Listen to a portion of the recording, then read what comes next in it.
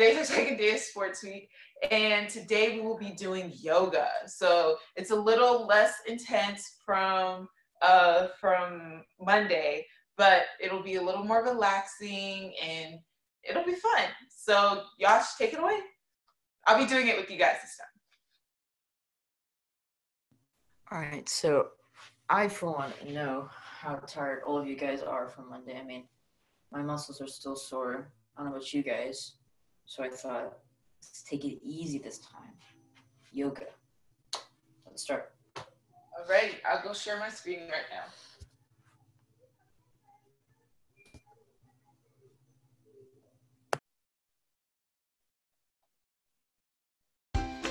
Can you guys hear it? Yeah, we can hear it.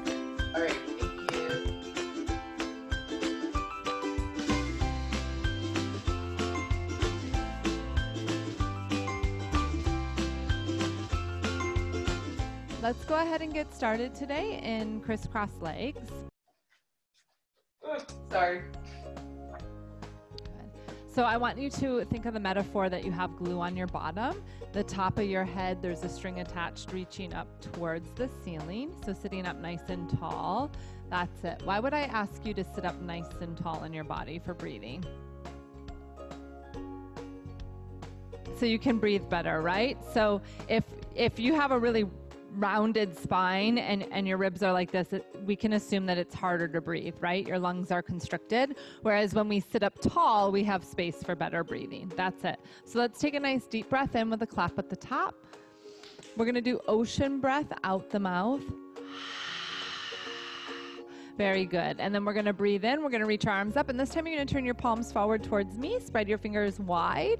And then you're going to bring your hands and wrap them around your ribs. Remember, your ribs are the, those bones, yep, nice and low. And we're going to start today with feeling breath. So I want you to take a full deep breath in, fill your belly full of air. Your ribs expand. Breathe out. Let your ribs come back down. Good. So breathe in, fill full. Breathe out and relax. Last time, big breath in. Big breath out. Very good. Clap at the top, breathe in. Ocean breath out. Very good. So, question for you Why do we breathe? To become strong? To live? Why do we breathe? To circulate your blood? Very good. So, another question for you What organ in your body helps you to breathe? Your lungs. Very good. And how many lungs do you have? Two. Very good. Okay. So, if we know that it helps to circulate our blood, why, and we know that we have two lungs, why is it really important to breathe? we wouldn't be alive, right? So, like, at the very essence, we're alive because of our breath, right? Okay, so what about um, how does your breath affect your mind and your body? So, your breath can help to calm your mind and your body down. What else? It can help you to go to sleep. That's it. What about the contrary? Like, have you ever had a moment in your life where you're really upset about something and you're crying really hard? What happens to your breath then? You can't, right? It feels restricted, it's difficult. So, our breath can be an indicator of who and how we're being, right? Like, if you have calm, steady breath, you're probably pretty calm. But if you have short, shallow breathing, maybe you're like not feeling well, right? And what's really neat about our breath is it can also help us to shift into who and how we want to be.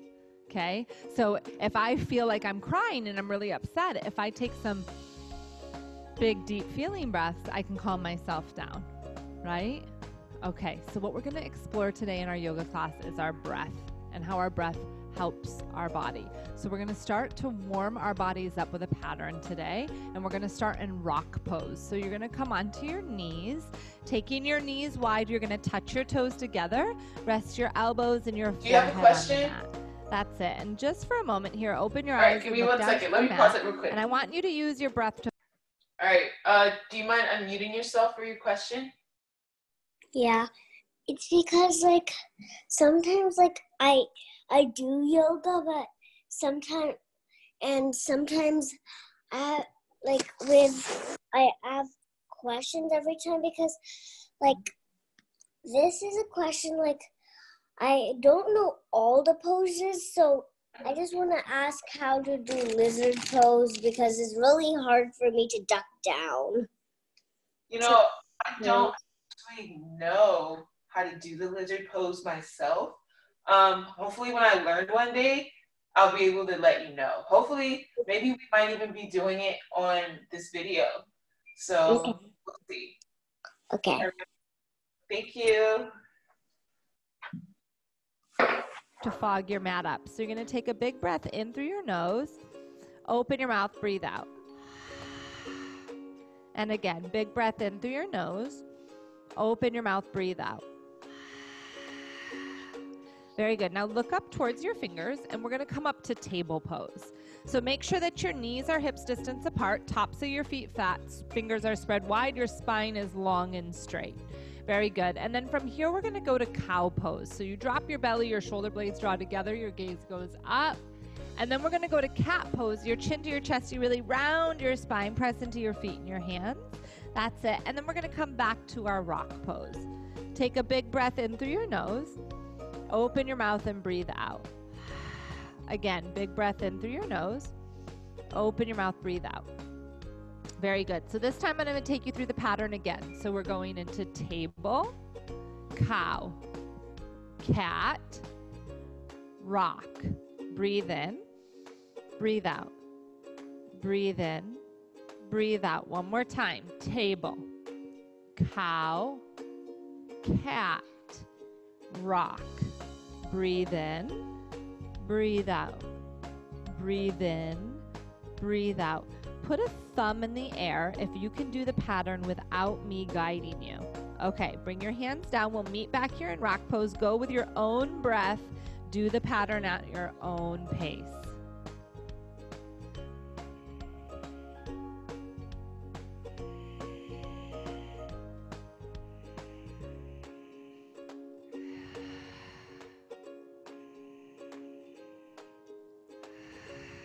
Looking up towards your fingers, come back to your hands and knees. Very good.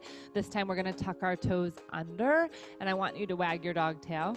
That's it. You're going to lift your dog tail up to the sky, stretch your dog's legs, and let's bend. Make sure your hands are flat and bend your knees side to side like you're walking your dog. That's it. And then I want you to look up towards your star finger, stretch your legs. So if you really feel the stretch in your legs and your arms, and I want you to slowly walk your feet until they make it to the back of your hands. And once your feet make it to the back of your hands, gently bend your knees, take your hands to opposite elbows. Let your head hang heavy like a coconut would hang from the tree here, bringing your weight slightly forward towards your toes. And then bring your hands to your hips, look for your belly button, and very slowly begin to straighten your legs. Your head is last, vertebrae by vertebrae, slowly all the way up to stand. Whew. And then you're going to come to stand in mountain pose. That's it. And mountains are strong or weak. Strong. Like no matter how windy it is, a mountain still stands, right? Or no matter how hot it is or how many hikers are on it, the mountain still stands, right? Okay, so check it out. Lift up a leg, press it down. Lift up your other leg and press it down. That's it. So check in, strong legs. Top of your head is like the peak of the mountain. Touch your shoulders, touch your ears, bring your hands to your side and roll your shoulders up to your ears and then onto your back. Very good. So from here, you are going to move into warrior one pose. Where is the right side of your body? Right side. That's it. So step your right foot forward and step your left foot back. And then take two hands into the air. And I want you to imagine that your hands are headlights. You're going to put them on your hips and you're going to shine your headlights forward. That's it. And then bringing your hands back to your hips, you're going to bend into your front knee. Strong back warrior leg. Yes. Reach your warrior arms up. Very good. Take a full deep breath in. Full deep breath out. Very good. Bringing your hands down back to your hips. One soft, steady step back to mountain. Good. So, where's the left side of your body? Okay. So, this time, your left foot is going to step forward and your right foot is going to step back. Take your high five hands into the air, make those two headlights, attach them to your hips, shine your hips forward. That's it. And then bend into your front knee. Very good. Bring your hands to your hips. Check in. Strong, sturdy back warrior leg. Very good. And breathe in. Reach your arms up. That's it. And take a full deep breath in. Full deep breath out. And in one steady step, step back, mountain. Very good. So from here, I'm going to have you hop to face the side of your mat and I'm going to do it on the count of three. But when you do it, I want you to imagine your feet are like featherweight. And what do I mean when I say your feet are like featherweight? They're not heavy. So, what it, will it sound like? If your feet are not heavy, what will it sound like when you land on your mat after you hop? Soft, right? Soft, silent. So, this idea of being really strong yet really soft. You ready? Okay, bend your knees gently. On the count of three, hopping to face the side of your mat. Ready? One, two, three. Oh, very good. Now, star pose. How many points are on a star? Five. So let's count. One, two, three, four, and five. Very good. Bring your hands onto your hips. You are going to turn your right foot towards the front of your mat. So towards me. Your right foot. That's it. Warrior two pose. So, do we agree that warriors are strong? Okay, so committing to the strength in this front leg, you are going to bend into your knee. Strong straight back leg. And notice when I challenge you with this, if your if your mind tells you, give up, it's too hard, you're gonna use your breath to refocus. Okay? So take a full deep breath in, deep breath out. You're gonna hold the pose and then release. Very good. Hands to your hips. Turn your right foot in. And now you're going to turn your left foot out towards the back of your mat. That's it. Strong legs. Warrior two pose. Bend into your front knee. That's it. Extend your arms out to a T. Steady gaze right over your front hand. And you're breathing. Very good. Take another deep breath in and breathe out, release. Good. Re- straighten your leg, bring your hands to your hips, and turn your left foot to meet your right. Very good. So, on the count of three, soft featherweight feet, we're going to hop back to mountain. Are you ready? Three, two, one. Good. And then you're going to hop back to the front of your mat. Ready? Three, two, one. Awesome job. Very nice. So back to mountain pose. Now I want you to take yourself towards the center of your mat. That's it, right there. And I want you to lift up your toes and wiggle your toes. Your toes are the roots to your tree. And what do roots to a tree do? Hold it straight and strong, right? So, top of your head, top of the tree. Imagine that strong mountain body within your tree. You are going to bring your right foot like a kickstand to the inside of your left leg. That's it. And then you're going to use your eyes to help you focus, looking towards the end of the mat. As you're ready, bringing your hands to your center. Use your breath as you breathe, breathing in, reaching your arms up. And then imagine that your tree fills full of leaves. Good. And then allow your leaves to fall and step back, mountain. And we're going to go to the other side. So hands are on your hips, left foot is like a kickstand. Using your eyes to help you focus. as you're ready, bringing your hands to your center, slow and steady, grow your tree branches. Allow your tree branches to fill full, and then slowly leaves fall. Step back, mountain pose. Very good. Sunshine arms to the clap at the top. Breathe in. Breathe out, touch your toes. Bring your hands to the ground, spread your fingers wide, step back to your downward facing dog. That's it. And then look up towards your fingers, and we are going to walk our feet until they come to the back of our hands. And then you're going to turn your toes slightly out, and we're going to come through for frog pose. So you're going to bend your knees. Nice big hip opener here. That's it. And then imagine that your spine's really long. Lift your chest, take a full deep breath in, deep breath out, and we're gonna bring our bottom to the floor. That's it.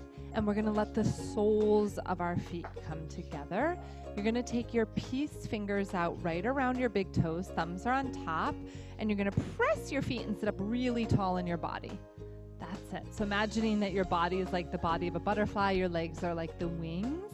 And then from here, I want you to imagine that your butterfly goes back to the chrysalis. So you're going to fold yourself in. That's it. Very nice. And take a full deep breath in, deep breath out. Very good. And then breathing in, you're going to come all the way back up to seated. Very good. And breathing out, we're going to bring our hands down to the side. We're going to stretch our legs straight out. And then I want you to flex your toes and point your toes and flex your toes. So we're going to stretch all of these large muscles in our legs with this next stretch. Do you know the name of this muscle here? Your thigh. And what's the name of the muscle underneath? Your hamstring. And what's the name of this? Your shin. And then what's under here? Your calf. Very good. So we're going to stretch all of these muscles by flexing our toes towards our shins. Sit up tall in your body. You're going to take a big breath in, breathe in, reach your arms up. And then as you breathe out, you're going to hinge from your hips. You're going to fold, looking up towards your toes. So really take yourself to that edge of the stretch and then find your breath, breathing in, breathing out. Good. And then breathe in, you're going to reach your arms up. Very good. And breathing out, you're going to bring your hands down. Very good. So the next thing that we're going to do is a partner pose, and it's called seesaw.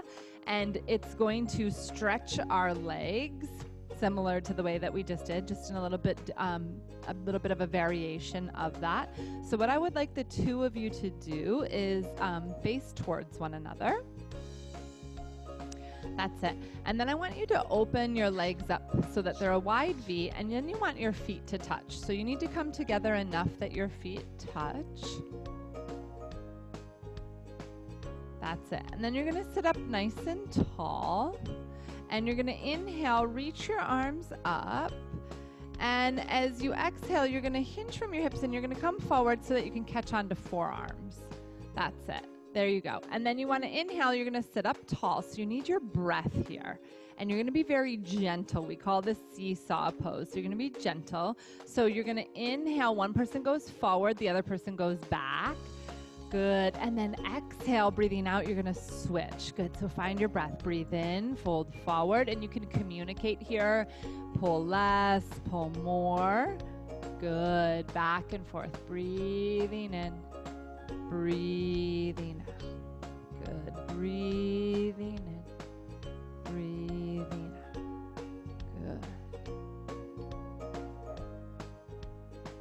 You can see why it's called seesaw. Good. A few more times. Breathing in and out.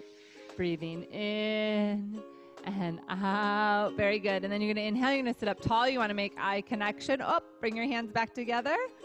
Good. Look at one another. Give a double high five. Good job. There you go. And you're going to go back to your own mat. That's it. You're going to bring your knees up so that you can hold onto your knees, hug your knees, and then very gently you're going to roll onto your back. That's it. All the way onto your back.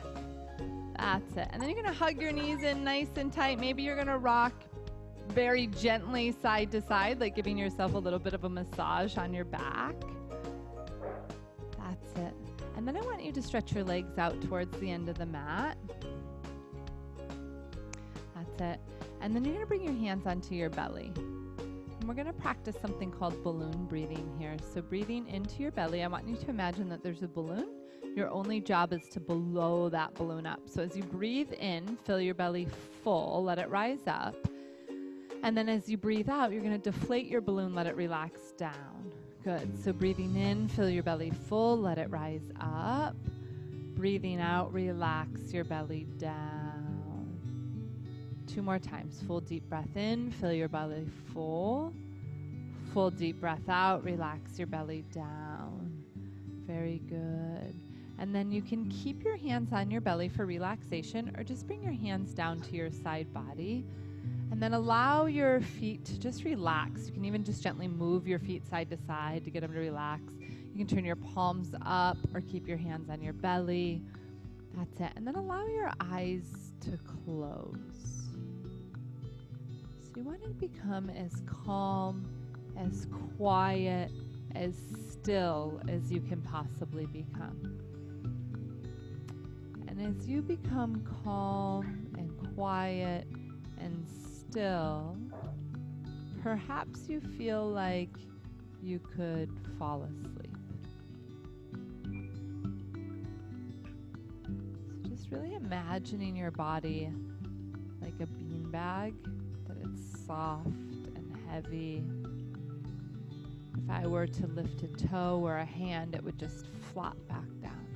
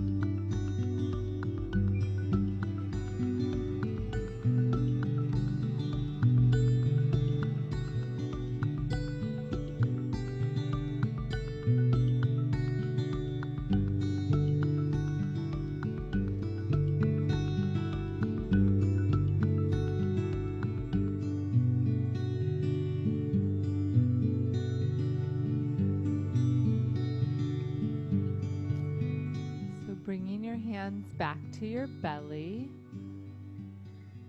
Take a full deep breath in, fill your belly full. full deep breath out, relax your belly down. And again, full deep belly, full deep belly out, relax down. And then very gently begin to wiggle your toes. Softly begin to wiggle your fingers. Then reach your arms up and overhead. Draw your legs together, like stretch like you'd stretch out of bed in the morning, like a big, big, big, big stretch. That's it. And then you're going to roll over onto your right side. Just take a moment on your side. No rush, no hurry.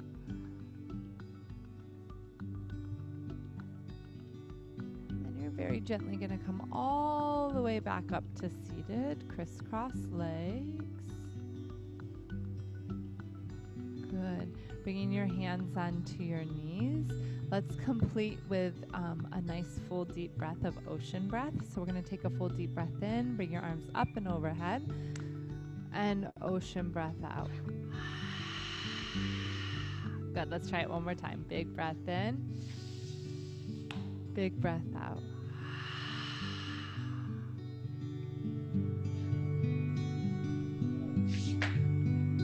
All right.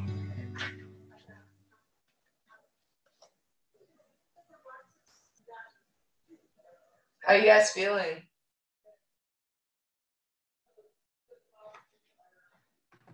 Good.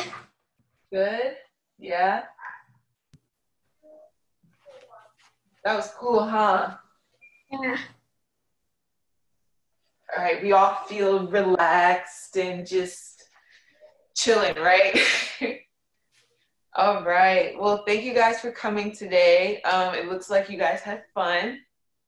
Um, be we're gonna be having another session on Friday.